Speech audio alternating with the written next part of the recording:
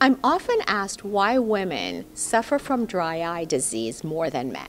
There are many reasons. First of all, the prevalence of dry eye in women is twice as often, twice as common as that in men.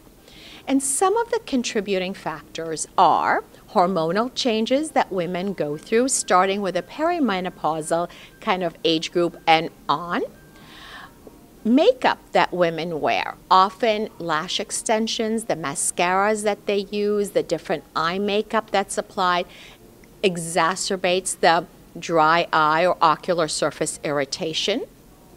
Thyroid disease, autoimmune diseases like Sjogren's and lupus tend to be more common in women. All of these are contributing factors that make dry eye disease more common in women than in men.